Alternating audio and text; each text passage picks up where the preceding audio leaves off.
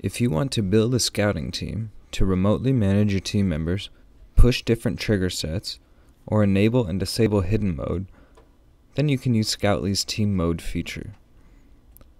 Log into the ASellerTool online portal with your main account.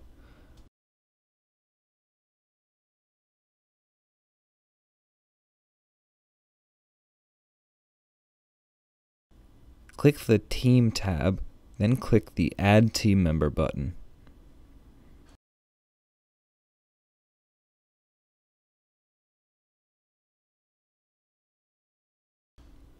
Enter the user ID and password of the team member you'd like to add, then choose the trigger set to apply to that team member. You can edit the selected trigger set by pressing the Edit button.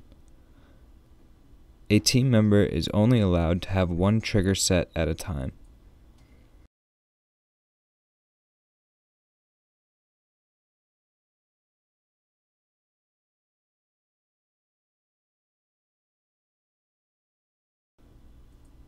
You can remove all pricing information from a team member's phone by enabling hidden mode.